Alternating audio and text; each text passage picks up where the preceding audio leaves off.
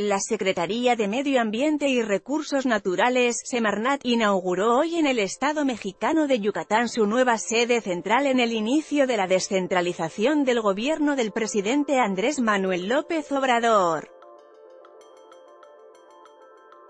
Josefa González Blanco Ortiz Mena, titular de Semarnat, aseguró que la inauguración de sus instalaciones en Mérida, se da comienzo al traslado del dependencia de la Ciudad de México.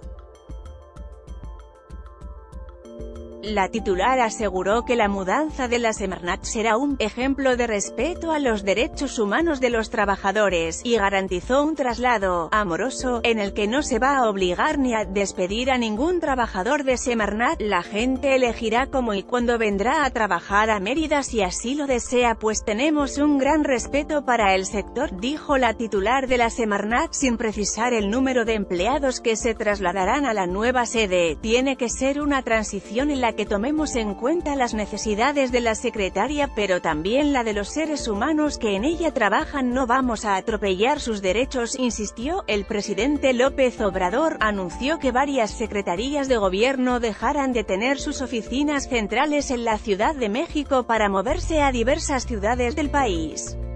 Lista pendiente de mudanzas. El traslado de medio ambiente a Mérida es el primero de los movimientos previstos que incluyen que la Secretaría de Educación Pública se cambie a Puebla, Puebla, Cultura a Tlaxcala, Tlaxcala, Turismo a Chetumal, Quintana Roo, Petróleos Mexicanos Pemex tendrán ahora a Ciudad del Carmen, Campeche, como su nueva sede y la Secretaría de Energía se instalará en Villahermosa.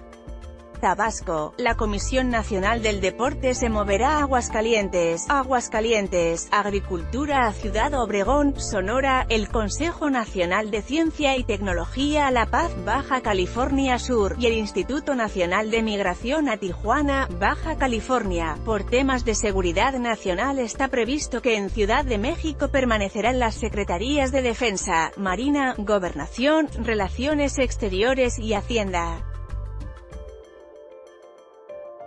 Al menos 3 millones de personas trabajan para el gobierno de México, de ellos el 80% lo hacen en Ciudad de México, de acuerdo con cifras oficiales. Punto. Política desaparecer al INE, un atentado, Teresa Bracho Justicia, el Chapó compraba cocaína a las FARC, asegura testigo en juicio.